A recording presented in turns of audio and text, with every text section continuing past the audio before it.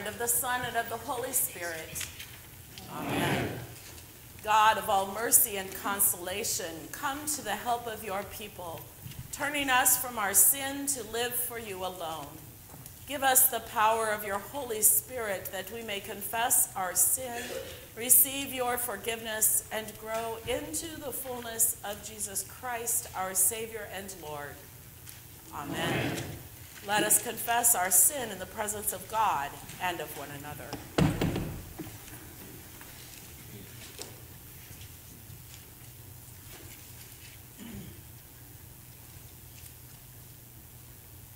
Most merciful God, we confess that we are captive to sin and cannot free ourselves. We have sinned against you in thought, word, and deed, by what we have done and by what we have done we have not loved you with our whole heart. We have not loved our neighbors as ourselves. For the sake of your Son, Jesus Christ, have mercy on us. Forgive us, forgive us, and lead us, so that we may delight in your will and walk in your ways, to the glory of your holy name. Amen. In the mercy of Almighty God, Jesus Christ was given to die for us, and for his sake, God forgives us all our sins. As a called and ordained minister of the Church of Christ, and by his authority, I therefore declare to you the entire forgiveness of all your sins. In the name of the Father, and of the Son, and of the Holy Spirit. Amen. Amen.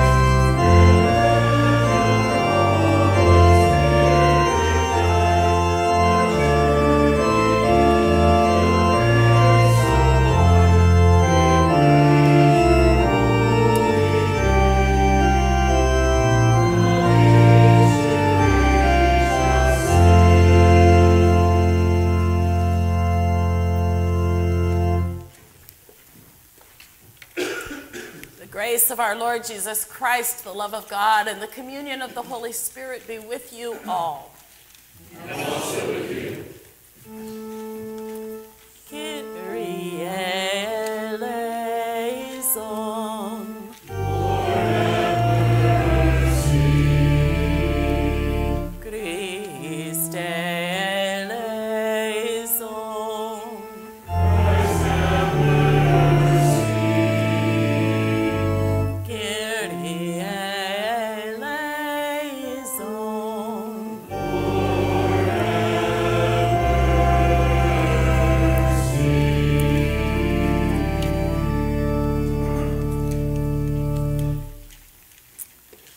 Us pray.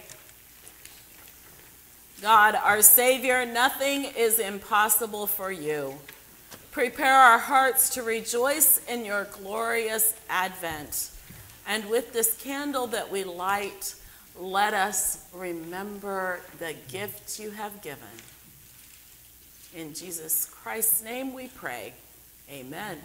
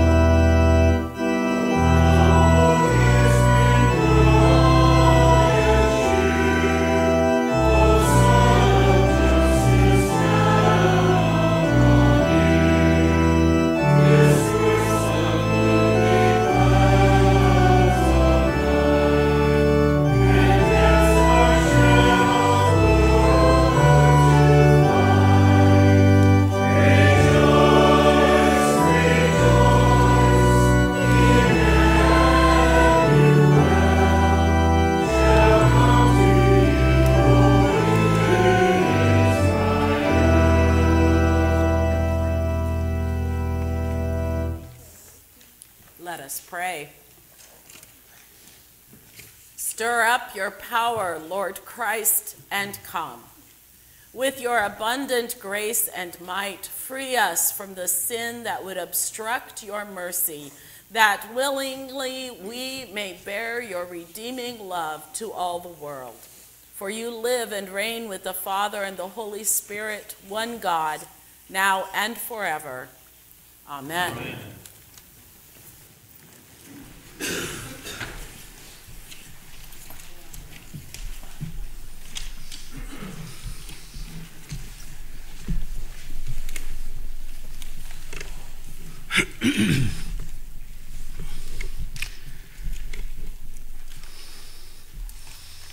First reading comes from 2 Samuel.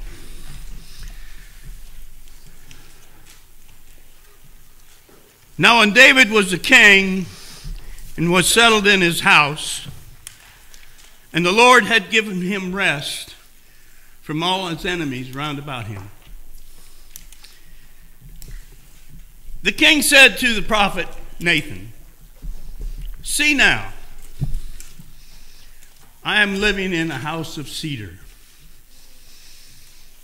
but the ark of God stays in a tent. Nathan said to the king,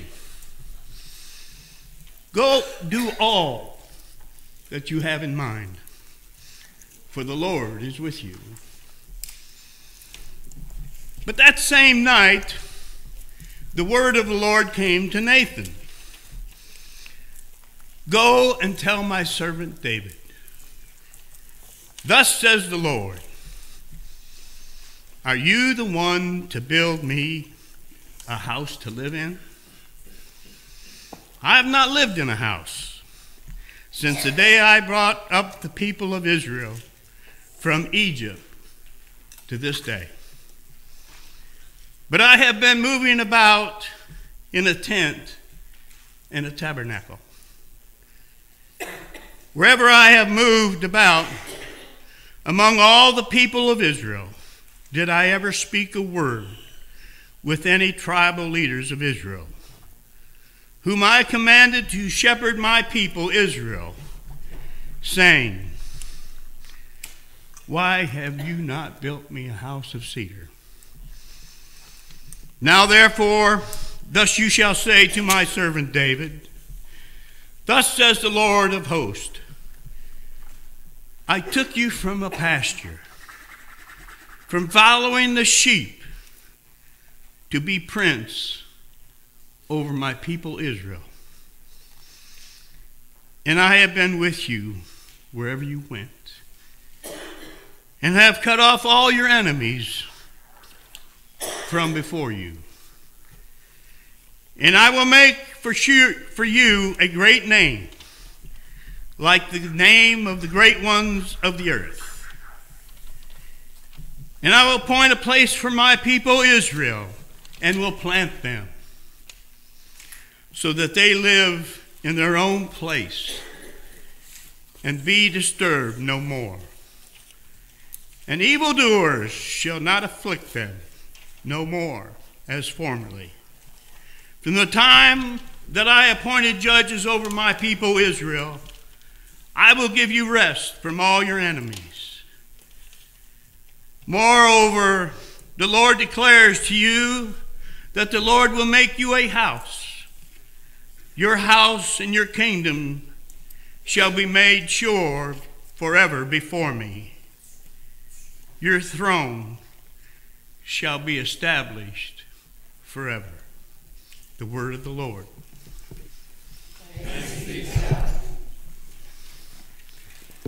Our psalm today is Psalm 89, verses 1 through 4 and 19 through 26. Your love, O Lord, forever will I sing. From age to age, my mouth will proclaim your faithfulness.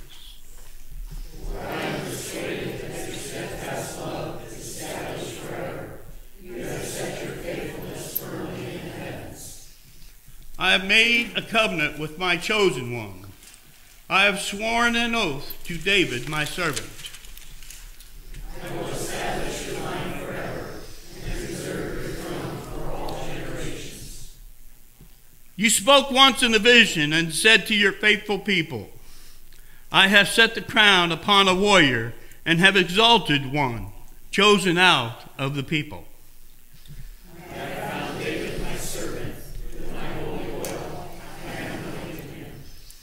My hand will hold him fast, and my arm will make him strong. No enemy shall deceive him, nor shall wicked bring him down. I will crush his foes before him and strike down those who hate him.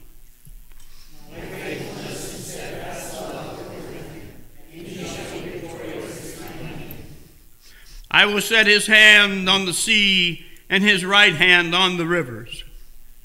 He will say to me, You are my Father, my God, and the rock of my salvation.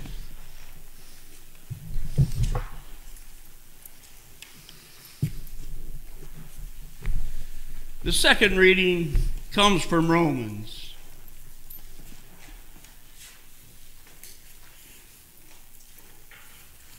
I want to say this before I read it. It's, it's kind of hard to uh, comprehend, I think.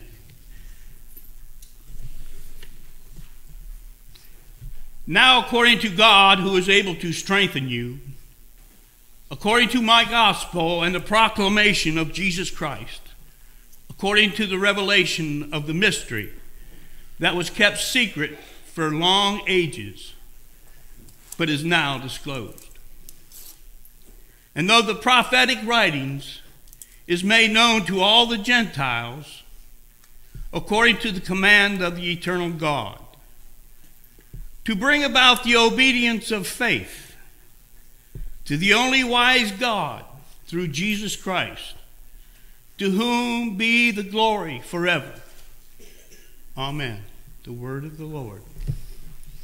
Thanks be to God.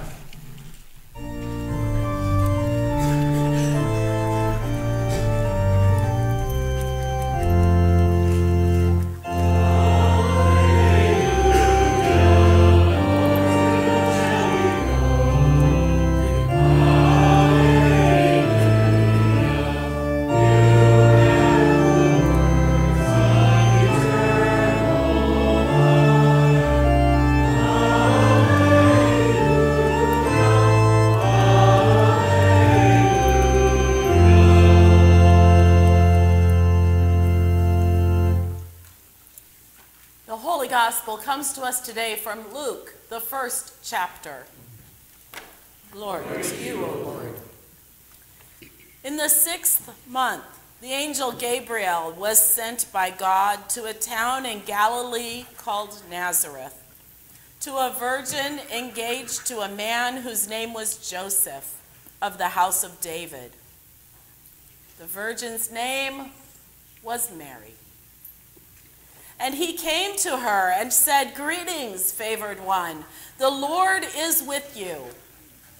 But she was much perplexed by his words and pondered what sort of greeting this might be.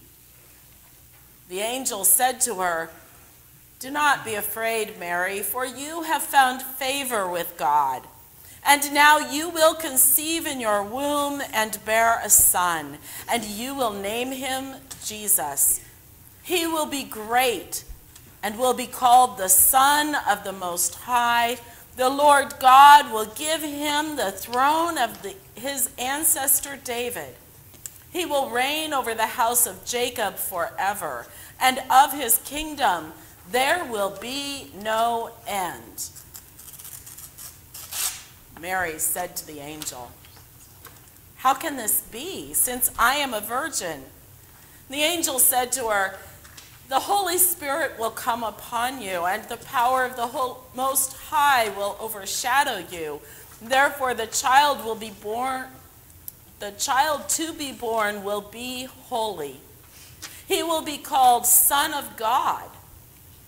And now, your relative Elizabeth, in her old age, has also conceived a son. And this is the sixth month for her, who was said to be barren for nothing will be impossible with God. Then Mary said, here, here am I, servant of the Lord. Let it be with me according to your word. Then the angel departed from her. This is the gospel of our Lord. Praise, Praise to you, O Christ. Please be seated, and I invite our children forward for the children's sermon.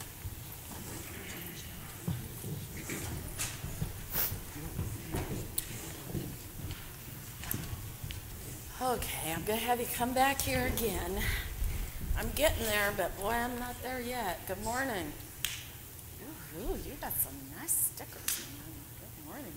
Good morning. Good morning. Good morning. Good morning. Good morning. I am so glad to see you all this morning. And um, so I just read a gospel reading about an angel. Right? Did you hear that? Angel's name was Gabriel. I know you didn't catch that, did you? But Gabriel told Mary something special. What was it? You're going to have a baby, Mary. Hey, Mary, you're going to have a baby. It's going to be a special baby. And you know what? Mary said, What? Really? I'm going to have a baby? Cool. Well, not in those words. But you know what? The angel also said, Your cousin Elizabeth is going to have a baby too. And she's a little bit old to be having a baby, but her baby is special too. Now, what I didn't read to you was that Mary then goes to visit Elizabeth. She goes to see Elizabeth. And you know what happens? Mary walks in the door and says, Hi, cousin Elizabeth. And you've you've seen mamas that are pregnant, right? Yeah, they got this belly hanging out, right? right? Yeah, it looks like a watermelon, but it's really a baby on the inside, right? And you know what happens to Elizabeth? That baby jumps, leaps in her belly. Can you imagine that? Can you imagine that? That baby, she could feel that baby just do this big old leap. Because that baby, that baby knew what was going on for Mary. You know who that baby was? John the Baptist. We've been reading, we've been hearing about John the Baptist here for a few weeks, right?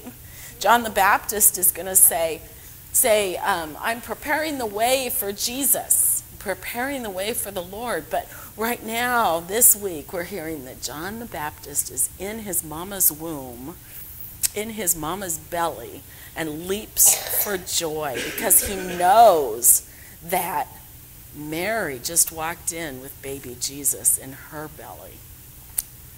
Isn't that a hoot? Have you ever been really excited about something? No? Yeah? Ever been really excited about anything, Grant? Yes. Yes. Alice, you ever been any, really excited about anything?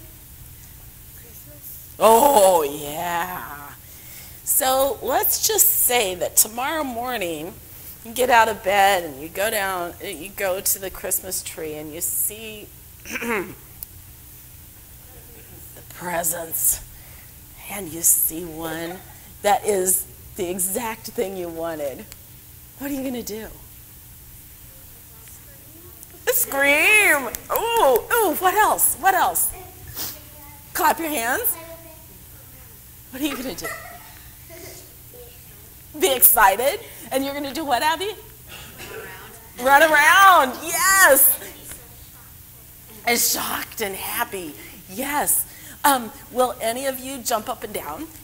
Yeah, I know. Okay, so I'd like to see you leap for joy. Yes! Ah, woohoo! Yes! Nice.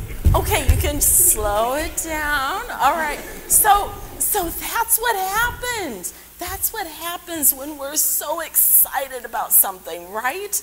And that's what John the Baptist was doing in his mama's belly, leaping for joy because Jesus the Savior was near. Pretty cool, right? Yeah. I hope you get to leap for joy tomorrow. Partly because of the presents, partly because of all the wonderful fun tomorrow, but also because we remember that Jesus is born. And that's pretty special too, right? Yes? Absolutely. Let's pray. Dear Jesus, Dear Jesus, thank you thank you for coming to the world, for coming to the world, making John the Baptist making John the Baptist leap for joy. leap for joy. Let us leap for joy Let us leap for joy. also. Amen. Boy, I hope there's enough in there. I kind of forgot to check. Thanks for coming up. Have a good week. Thank you.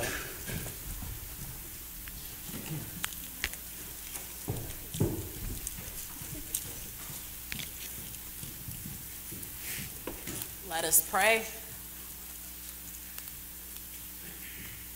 Holy God, holy and mighty, holy and awesome. Thank you for this day, and thank you for bringing us here to this house of worship that we may once again celebrate the coming, uh, the advent, the, the anticipation of you, Jesus, God made flesh, dwelling on earth among us. Thank you for being our hope and our joy. And now may the words of my mouth and the meditations of all our hearts be acceptable to you. Amen.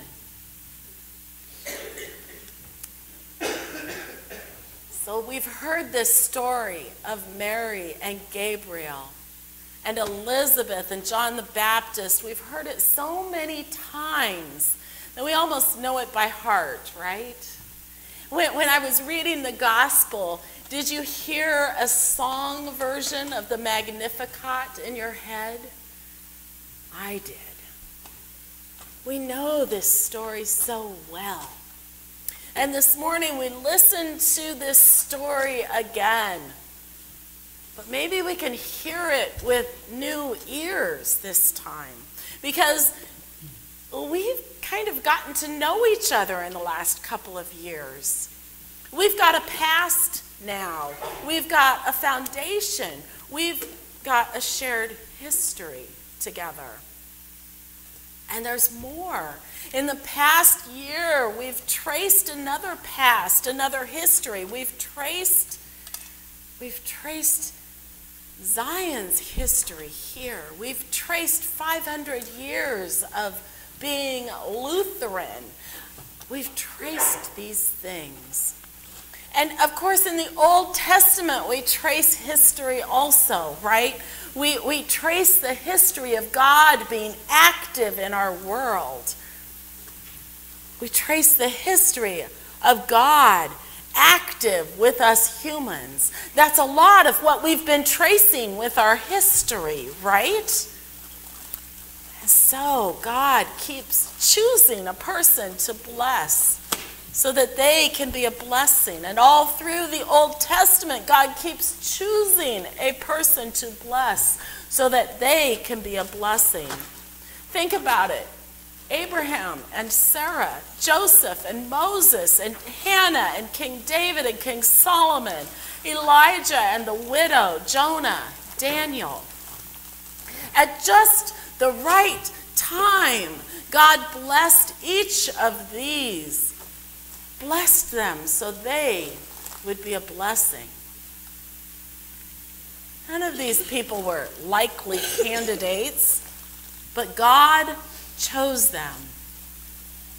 And now, and now we read of another, another that God has chosen Mary. Mary, a young woman from the middle of nowhere. Her family wasn't important in history. They didn't have wealth. They didn't have power. Mary wasn't particularly important or remarkable, just another young woman about to be married. And Joseph wasn't anyone remarkable either, except if he was to go back 500 years, he could claim King David as his ancestor. Neither Mary nor Joseph were likely candidates but God chose them. God chose Mary to bring the promise of an everlasting king in the line of King David. God promised this long ago. God promised David and all of David's people that this day would come, that the line of David would rule forever. And there were a few people who still believed that this promise was going to come true.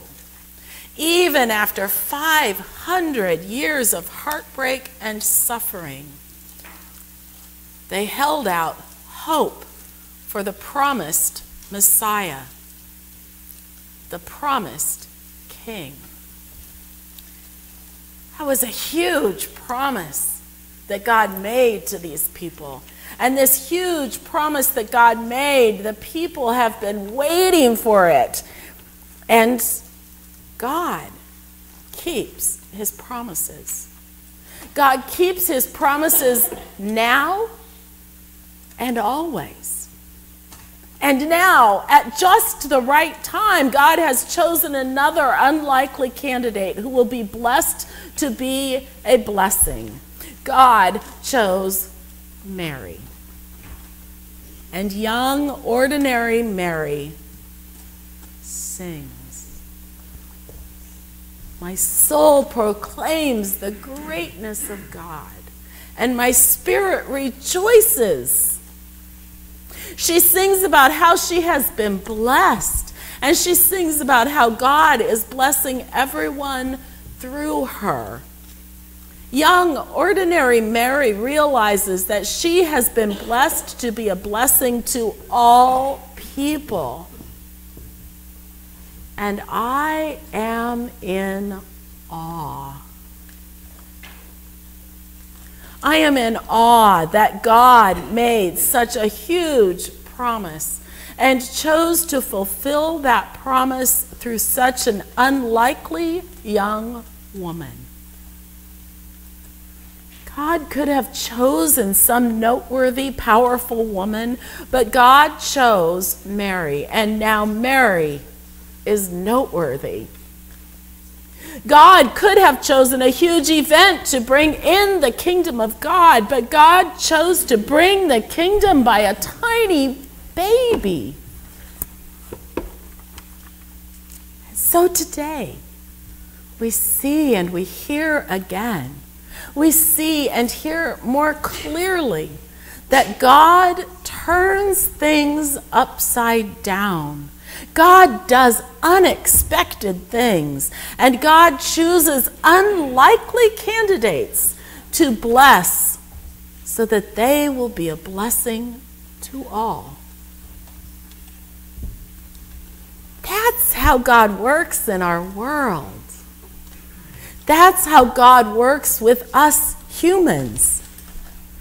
That's God's kingdom. That's the promise fulfilled for Mary and Joseph, for you, for me, for all people.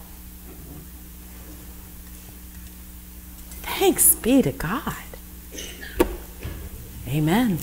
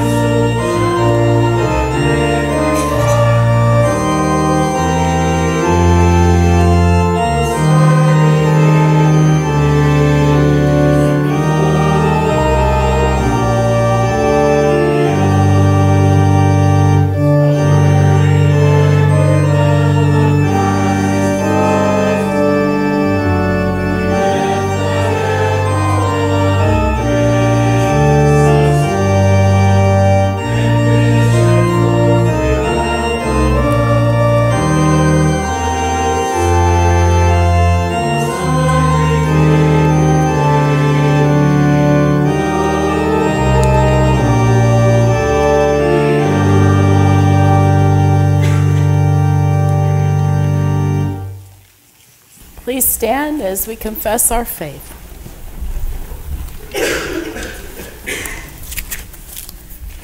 I believe in God, the Father Almighty, creator of heaven and earth. I believe in Jesus Christ, God's only Son, our Lord, who was conceived by the Holy Spirit, born of the Virgin Mary, suffered in the Pontius Pilate, was crucified, died, and was buried.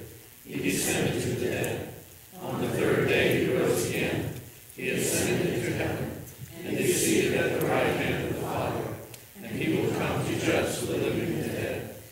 I believe in the Holy Spirit, the Holy Catholic Church, the communion of the saints, the forgiveness of sins, the resurrection of the body, and the life everlasting. Amen.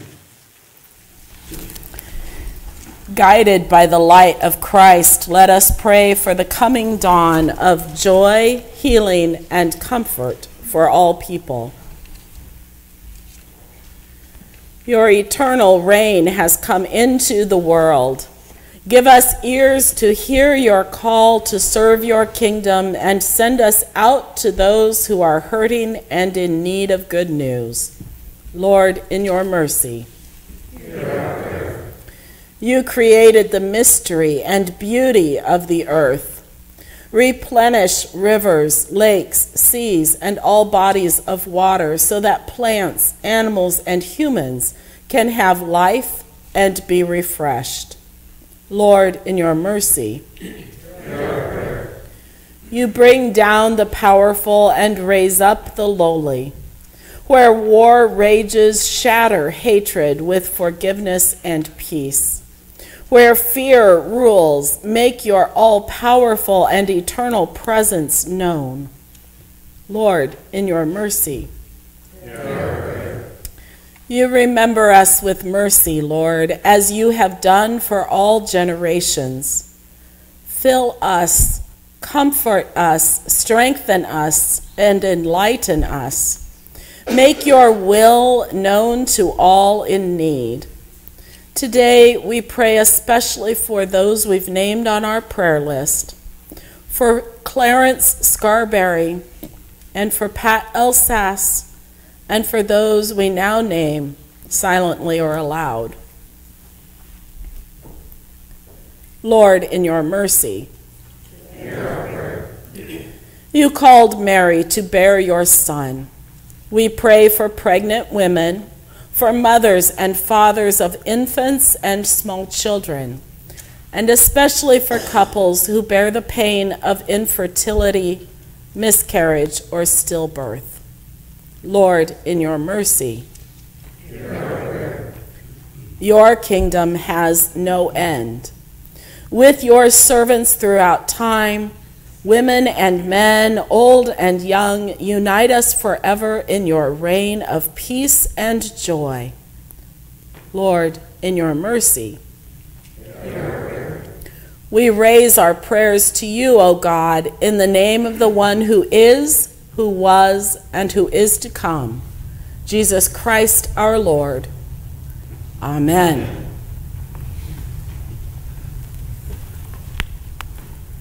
Peace of the Lord be with you always.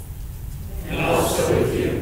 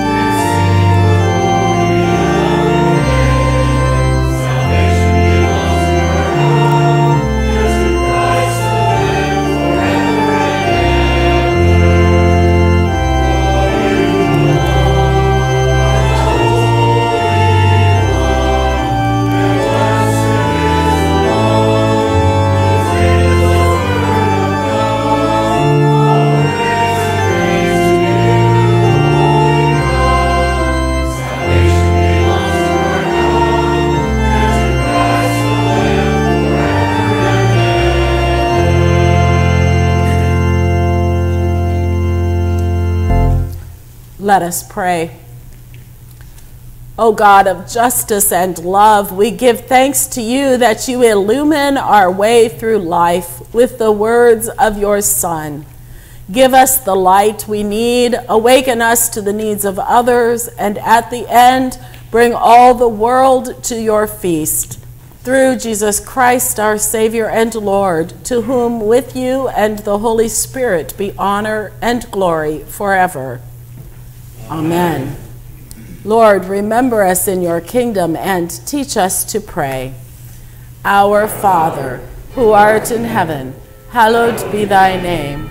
Thy kingdom come, thy will be done, on earth as it is in heaven. Give us this day our daily bread, and forgive us our trespasses, as we forgive those who trespass against us. And lead us not into temptation, but deliver us from evil. For thine is the kingdom and the power and the glory forever and ever. Amen. the Lord bless you and keep you. The Lord's face shine on you and be gracious to you. The Lord look upon you with favor and give you peace. Amen.